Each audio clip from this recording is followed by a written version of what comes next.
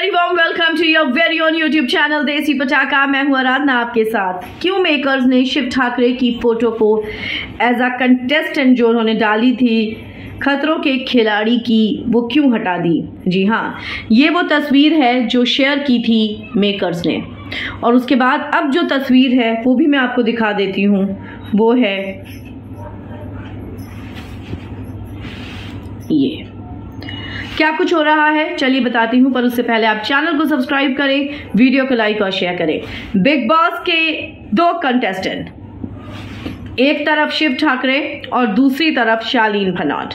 पहले खबर आती है जब अंदर रोहित शेट्टी गए थे, जब एपिसोड नहीं ऑन एयर हुआ था, कि शिव ठाकरे बनेंगे खतरों के खिलाड़ी के कंटेस्टेंट मेकर्स ने पोस्ट भी शेयर कर दी और उसके बाद उस पोस्ट को हटा दिया गया और अब डाल दिया है शालीन का नाम, क्योंकि शालीन ने टास्क को अच्छे से परफॉर्म करा।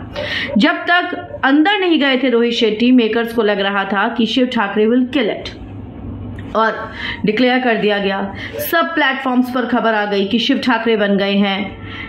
खतरों के खिलाड़ी के पहले कंटेस्टेंट लेकिन उसके बाद जब अंदर जाकर देखा तो यहाँ तो शालीन भनौट बाजी मार ले गए। अब इसमें मेकर्स खेल नहीं कर सकते थे। मेकर्स को वही दिखाना था जो घर के अंदर हुआ है। और साफ़ है, Shalin Bhanot killed it in task Shalin ने यह साबित करके दिखा दिया कि टास्क में वो मास्टर है। उसने हर टास्क को टाइम से पहले पूरा करा।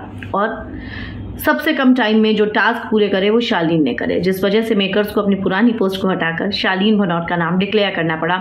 लेकिन शालीन ने ऑफ़र को रिजेक्ट कर दिया है। अब देखना होगा कि बाहर आने के बाद शालीन उस ऑफ़र को एक्सेप्ट करेंगे या नहीं करेंगे। आपको क्या लगता है? कमेंट्स में ज़रूर लिखें, क्योंकि जिस तरह से शालीन ने टास्क को करा है, कोई बड़ी बात नहीं है, लड़का खतरों के खिलाड़ी जीत भी जाए।